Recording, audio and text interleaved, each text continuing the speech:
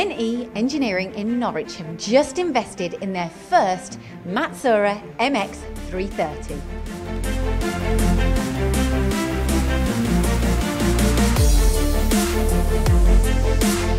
After training on day one, we put the machine on, on full run and it ran through the night first time. We run multiple parts on a pallet at any one time and there's no additional programming involved. We bought the Matsuura with no specific contracts in place. Um, we just backed ourselves to fill it and we're already looking at another one.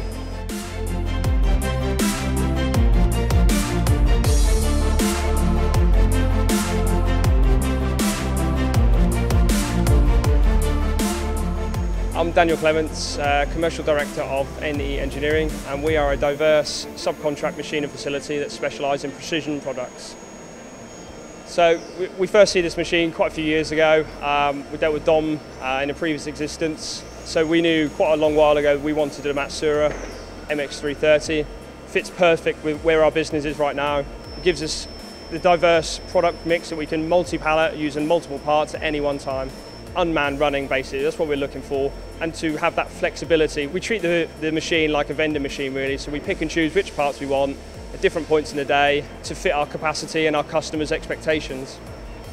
The view of the machine is such, it can do absolutely anything you throw at it. So it varies from small batches, one-offs, to a large batch, 5,000 off. It really, anything you throw at it, it can, it's capable of, of machining typically on our existing three axis machines we were two weeks to make one batch, we now do the parts in three days. And it completely eliminates any manhandling and deburring and, and several other operations. It's increased our turnover, our efficiency, our, our productivity, quality, because everything's done in one hit, you have no issues with anything when it comes off the machine.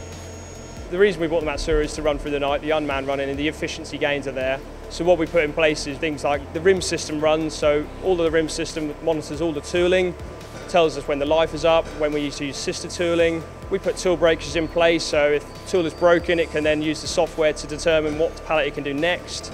And we put in-process in inspection in place so that if, if, things fall out of tolerance, we can rework them, and it, it just doesn't stop them.